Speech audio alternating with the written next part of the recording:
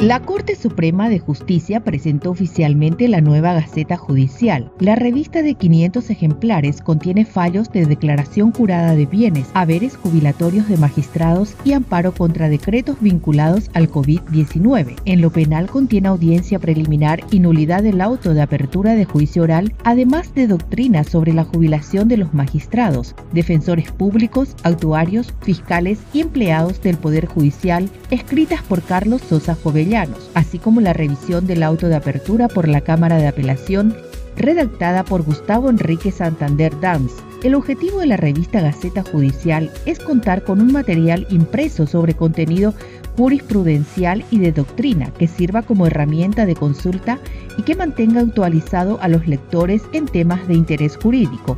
Una segunda tirada se prevé para los meses de octubre y noviembre de este año.